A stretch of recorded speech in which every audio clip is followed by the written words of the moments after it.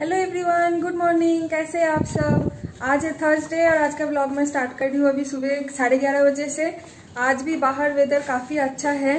सुबह से बहुत ही बढ़िया मौसम है। इतनी हवा चल रही है ना मतलब बहुत ही ज़्यादा हवा चल रही है। ऐसा लग, बारिश तो नहीं है आज सुबह से, लेकिन काफ़ी अच्छा हवा चल रही है। तो टैंक का पानी भी बिल्कुल एकदम ठंडा ठंडा था तो इसलिए मैंने सोचा ठंडा ठंडा पानी में नहा लेती हूँ। इसलिए मैंने सुबह उठ के आज नहा लिया।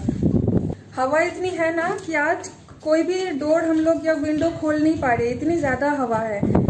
आप शायद आवाज़ सुन पा रहे होंगे, पूरा एकदम जैसे भूत का आवाज़ नहीं होता है हु करके वैसा एक आवाज़ आ रहा है। मैं फिर भी आपको एक बार दिखाती हूँ। आज क्लाउड बिल्कुल भी नहीं है, एकदम बादल क्लियर है है ना? सुंदर सी। मतलब वेस्ट बंगाल में जैसा होता है ना, दुर्गा पूजा के पहले जैसा होता है आसमान, पूरा आज वैसा दिख रहा है। इसीलिए मेरा और भी ज़्यादा सुबह से उठ के ना मूड सही हो गया था। मैंने सोचा, ऐसा फील आ रहा था कि हम लोग वेस्ट बंगाल में हैं। पूरा एकदम वैसा वेदर है। ये दूसरा वाला बैल्कनी से भी एक बार दिखा देती हूँ। देखिए, है ना? बहुत सुंदर लग रहा है। बहुत ही सुंदर मतलब मैं बयान नहीं कर सकती। बहुत सुंदर लग रहा है। बहुत ज़ोर से हवा चल रही है। कुछ भी आज खोल के नहीं रख सकते विंडो वगैरह। सब बंद कर देती हूँ। बहुत ही ज़्यादा हवा आ रही है। आप लोगों को सुनाई दे रहा है हवा की आवाज़? थोड़ा ध्यान से सुनिए, सुनाई देगा। बहुत ज़ोर से होती है। इसलिए मैंने आज ये किचन का दरवाज़ा भी बंद करके रखा है।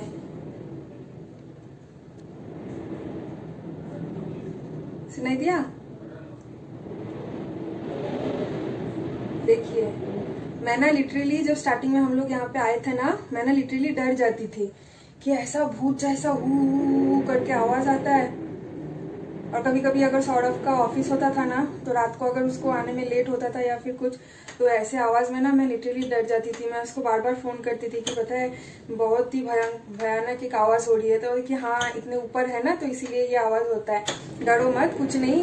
ये आसपास जो बिल्डिंग है ना, उसमें हवा आके जब धक्का लगता है ना, उसके बाद फिर ये साउंड क्रिएट होता है। बहुत ही डरावनी साउंड साउंड है। अभी बैठ जाती हूँ दो तीन मिनट के लिए थोड़ा सा टीवी देख लूँगी। उसके बाद फिर किचन में जाऊँगी खाना बनाने के लिए।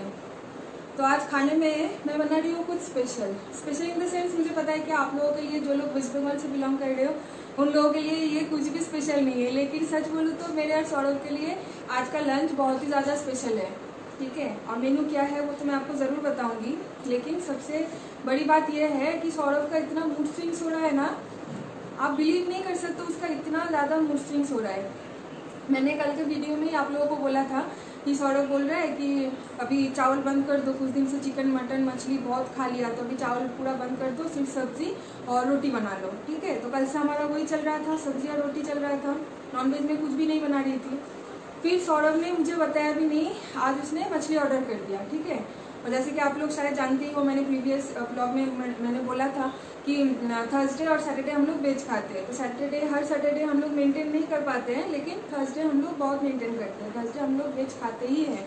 तो सौरभ को पता है कि अगर वो मुझे बोलेगा मछली ऑर्डर करने के बारे में तो मैं ऑब्वियसली अलाउ नहीं करूँगी, क्योंकि थर्सडे है। तो इसलिए इसलिए मुझे बिना बोले उसने मछली ऑर्डर कर दिया, ठीक है? और क्या ऑर्डर किया उसने? हिलसा। वैसे तो अच्छी बात है क्योंकि उसको हिलसा बहुत पसंद है। और अभी तो बारिश की मौसम है तो हिलसा तो मतलब बहुत ही अच्छी क्वालिटी का क्वालिटी के मिलेंगे यहाँ पे। लेकिन वही थर्सडे है तो हम लोग वेज वेज खाते हैं तो उसने मछली ऑर्डर कर दिया तो मैं मना करूँगी, इसलिए मुझे बताया नहीं। तो फिर मछली वाला आके मुझे कॉल कर रहा है दस बजे। बोल रहे कि मैडम, आपका मछली ऑर्डर था, मैं नीचे खड़ा हूँ, ऊपर जाने नहीं दे रहे, आप आके ले जाइए। मैं तो सुनकर शौक हो गई कि मछली मैंने कब ऑर्डर दिया। तो बोले कि हाँ भैया ने ऑर्डर दिया था। तो फिर मैंने उसको बुलाया, वो सो रहा था। मैंने उसको बुलाया कि तुमने मछली ऑर्डर किया था?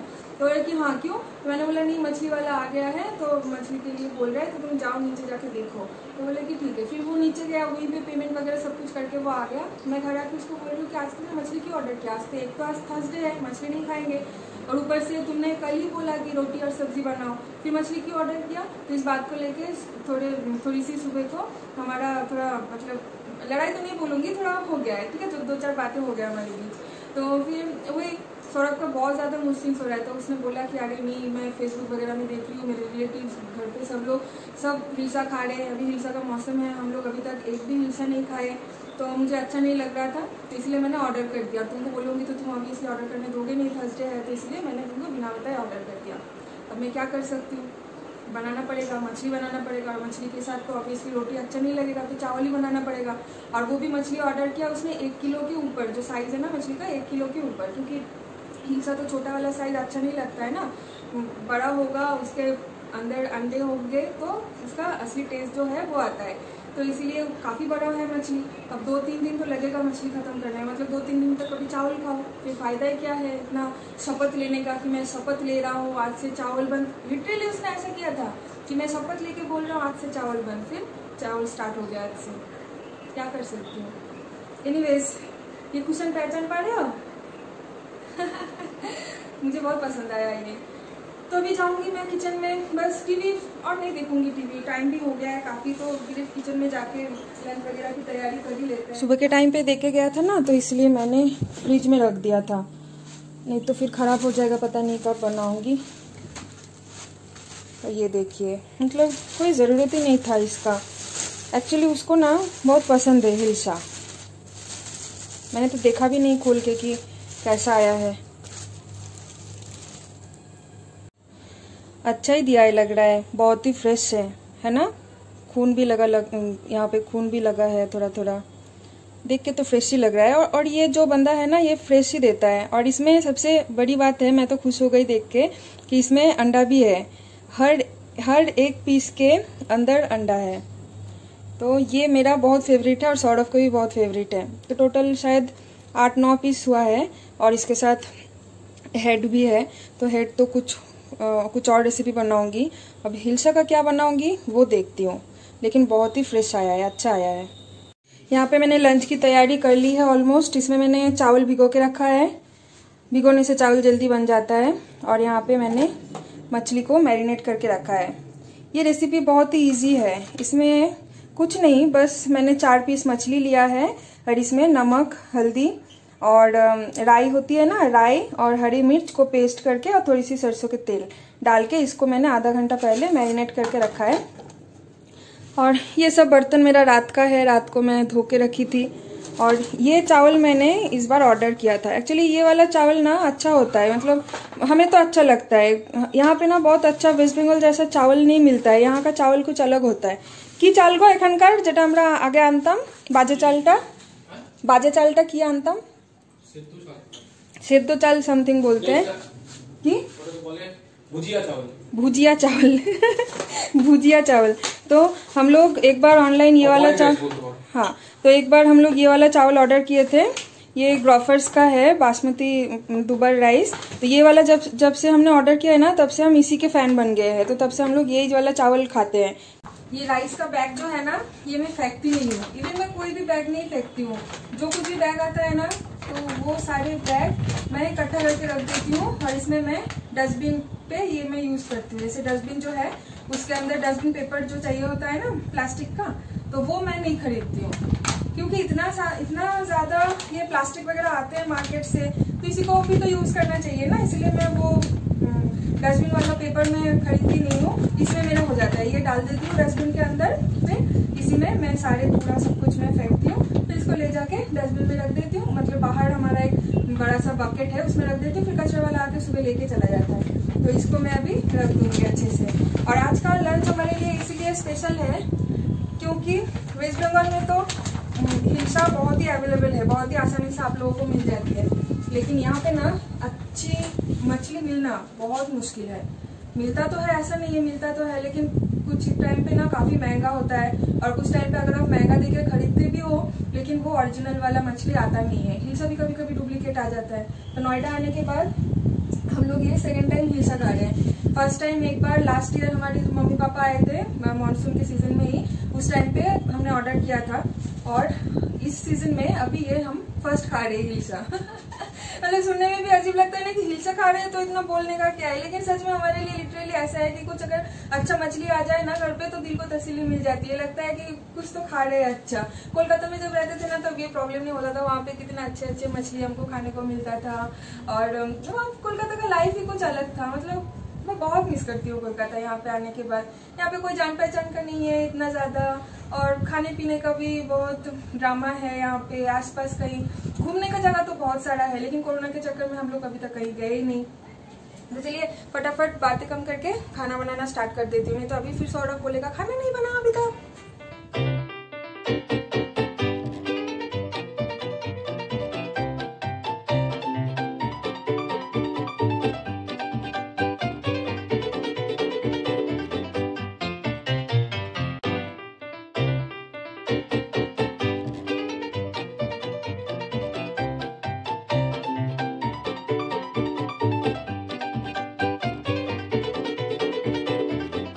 लंच बन गया है। ये चावल बना लिया और इसमें दाल है, कल का।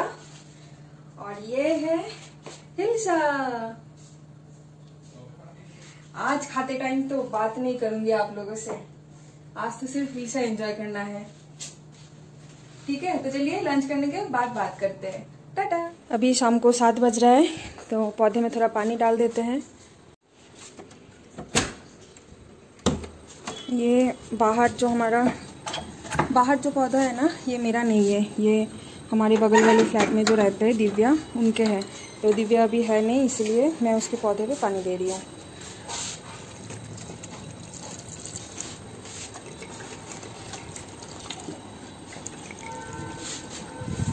और पानी लगेगा। नहीं होगा इतने में।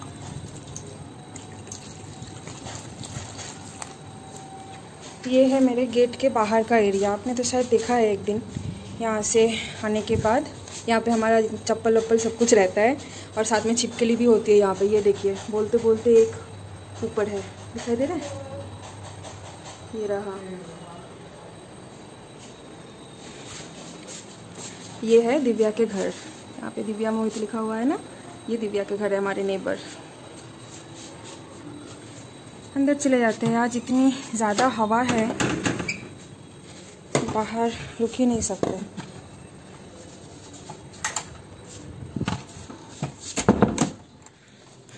और अभी मैं जाऊँगी नीचे। मुझे दही लाना है, इसलिए लाइट बंद कर देती हूँ। सौरभ अभी जा नहीं पाएगा क्योंकि ऑफ़िस का काम कर रहा है तो इसलिए मुझे ही जाना पड़ेगा। लाइट जहाँ भी जाओ लाइट ज़रूर बंद कर देना। अगर लाइट बंद नहीं करोगे तो इलेक्ट्रिसिटी बिल ज़्यादा आएगा। इलेक्ट्रिसिटी बिल ज़्यादा आएगा तो हस्बैंड गुस्सा हो जाएगा। तो इसलिए हमेशा जहाँ भी जाओ, लाइट, फ़ैन सब कुछ बंद करके जाना। तो सौरभ सिर्फ़ जिस रूम में काम कर रहा है। उस रूम का लाइट मैंने ऑन कर दिया है और बाकी का पूरा घर का मैंने लाइट बंद कर दिया है। हवा भी है ना आज मस्त, इसलिए मैंने और सोचा कि चलते हैं। थोड़ा सा वॉक करके भी आ जाऊँगी। लेकिन पता नहीं इतना टाइम होगा कि नहीं, अगर टाइम होता है, थोड़ा सा वॉक कर लूँगी। टाइम की बड़ी प्रॉब्लम है। घर पे रहती हूँ, अभी तो इतना काम भी नहीं है, अभी ट्यूशन पढ़ाने भी नहीं जाती हूँ। फिर भी टाइम का बहुत प्रॉब्लम है।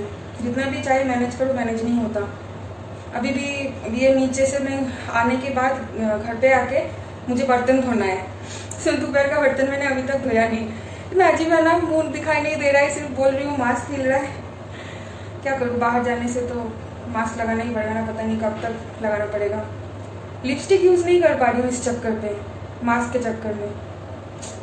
कब सिचुएशन सब ठीक होगा पता नहीं।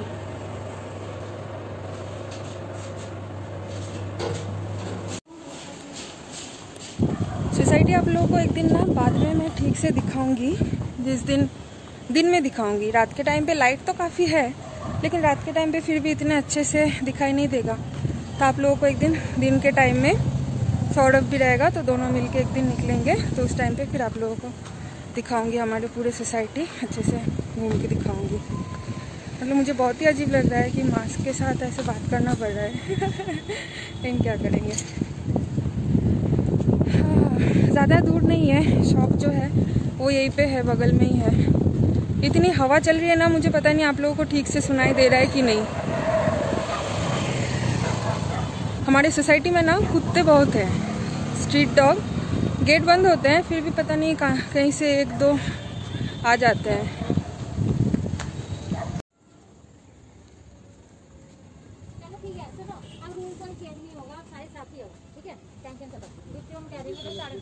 दही और ब्रेड लेके मैं आ गई। मैंने सोचा नीचे जा रही हूँ तो थोड़ी देर वॉक करके आऊँगी। आज हवा चल रही है ना नीचे बहुत अच्छा तो इसीलिए इतना ज़्यादा क्राउड है। इतना ज़्यादा क्राउड है नीचे। फिर मैंने सोचा कि नहीं बाबा, इतना रिस्क लेके कोई फ़ायदा नहीं। पता नहीं क्या हो जाएगा। इससे अच्छा है, ऊपर चली जाती हूँ, बाद में निकलूँगी। बहुत ज़्यादा आज क्राउड है। शायद यही वेदर अच्छा है तो इसीलिए शायद सब लोग घूम रहे हैं। तो ऊपर आ गई मैं, अभी मैं बर्तन धोऊँगी। और उसके बाद कल कुछ स्पेशल बनाऊँगी तो इसलिए आज थोड़ा प्रिपरेशन करके रखना पड़ेगा। और या की रसोई के लिए शूट भी करना है मुझे। तो मैं कल क्या बनाऊँगी, वो तो आप लोगों को कल ही पता चलेगा। तो ठीक है, अभी हाँ और मैं नीचे से आके सारी चीज़ों को मतलब ब्रेड और दही को बहुत अच्छे से सैनिटाइज कर लिया एंड मैं अपने हाथ को, पैर को और फेस को भी अच्छे से वॉश कर लिया, ठीक है? तो जब भी आप बाहर जाओ, बाहर जाके आप घर पे आ रहे हो तो the first thing we need to do is wash your hand face and feet properly okay आप लोग सब जानते ही हो, फिर भी मैंने एक बार बता दिया। एनीवेज ठीक है, चलिए तो आज का ब्लॉग मैं यहीं पे खत्म करती हूँ। मिलते हैं नेक्स्ट दिन एक नए ब्लॉग के साथ। तब तक के लिए खुश रहिए, अच्छे रहिए, घर पे रहिए सेफ़ रहिए। Good night bye bye